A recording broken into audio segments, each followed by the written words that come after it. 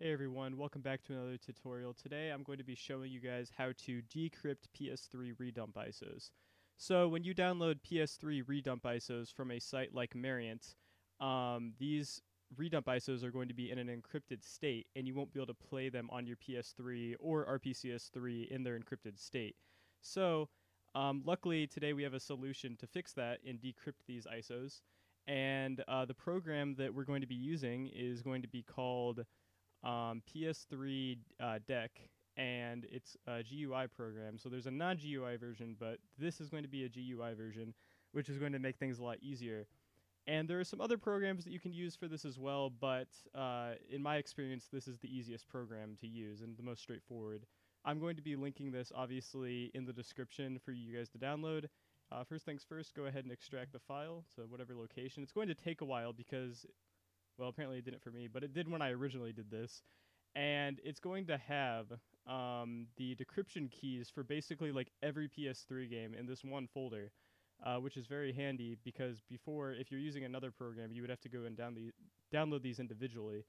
So uh, go ahead and find where you extracted this. So it looks like it extracted right here. Uh, go ahead and open the exe right here and go to where your PS3 games are. So for me, it's right here. You can go ahead and choose any game. I'm going to choose Call of Duty 4 Modern Warfare. And this is very straightforward. All you do is you just drag and drop this file into this program. It's going to do its thing.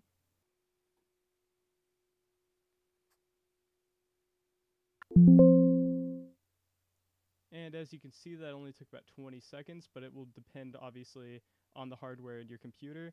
And once that's finished, you're going to go ahead and go to your decrypted ISOs folder right here, and you're going to have the decrypted redump ISO.